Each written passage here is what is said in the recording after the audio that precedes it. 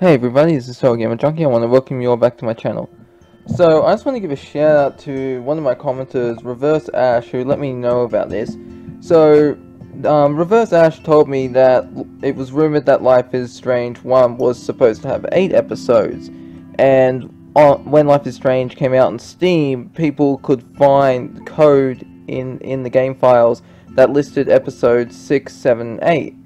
Now, honestly, I've, I've been trying to look this up. I, I, I spent like a few, I spent an hour or two, I don't know how long it was, looking up why episode 6, 7, or 8 wasn't made, but I really couldn't find anything. If, if one of yous know why this happens, let me know in the comments. But I gotta say, this, this would have been great if we had 8 episodes, because I know the ending of Life is Strange 1 is controversial and controversial. Well, getting tongue tied in that word because I know how there are a lot of people who who like the ending, but others feel all your choices that you make from the first episode and you get this binary choice just doesn't really seem that good.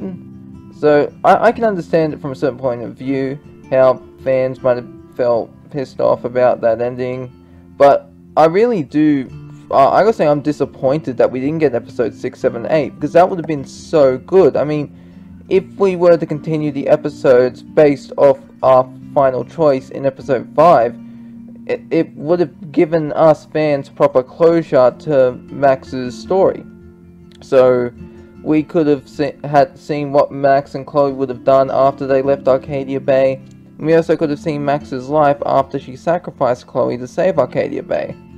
Now, as, as I mentioned this in one of my videos, um, why I believe the Life is Strange games need 9 episodes, this really is one of the reasons here, because we need to play the, uh, we need to play as the characters when we get to the end of episode 5, and we need to continue off of these episodes, so I gotta say I'm really disappointed, and if any of you know why this happened, why we only got 5 episodes instead of 8, let me know in the comments below.